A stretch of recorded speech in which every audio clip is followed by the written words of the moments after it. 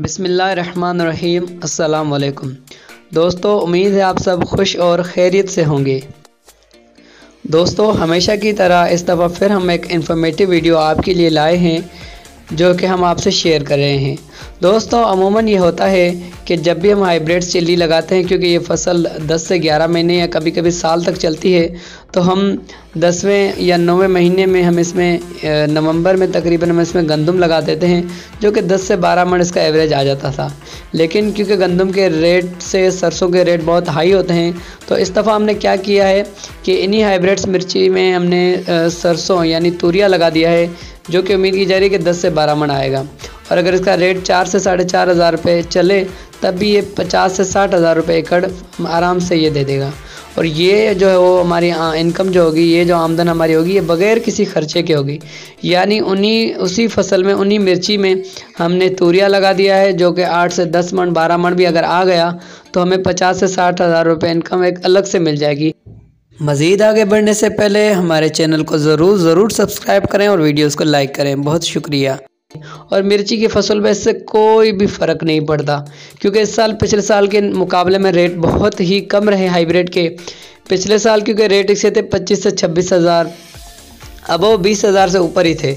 लेकिन rate high होने की वजह से इस साल किसानों ने से बहुत ज़्यादा क्वांटिटी में का, तादाद काश की है तो इस वजह से इसके रेट काफ़ी डाउन आए।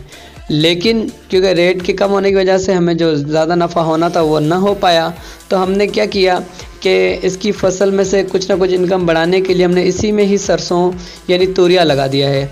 तो अलहमदिल्ला तूरिया बहुत अच्छा है। उम्मीद की जा रही है कि पचास से साठ हज़ार जो है हमें ये इनकी साइड इनकम मिल जाएगी और मिर्ची भी हमारी अब तक चल रही हैं। आज जब मैं ये वीडियो बना रहा हूँ, जनवरी में 22 जनवरी को तो मैं आपको दिखा सकता हूँ कि तूरिया में तूरिया जो है इसमें बिल्कुल तैयार है। अल्हम्दुलिल्लाह।